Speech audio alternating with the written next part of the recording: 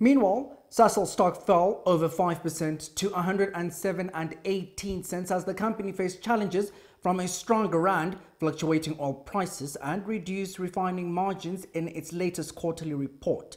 While the overall market outlook for 2025 remains stable, the forecast for net has been downgraded and lower fuel sales volumes are anticipated. Furthermore, CEO Simon Baloyi stated that the company is focusing on cost control and operational enhancements to navigate economic uncertainties. Analyst Zimele Mbanjwa provides further analysis on Sasol's recent results.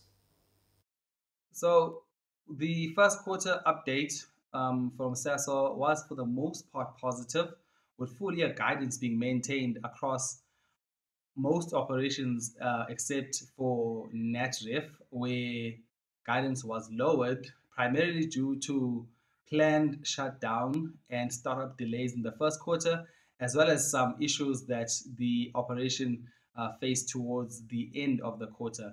Management remains very positive um, uh, going forward. However, there is some margin risk due to the volatile nature of the oil markets as well as the energy prices um, and also just higher costs that are eating into margins.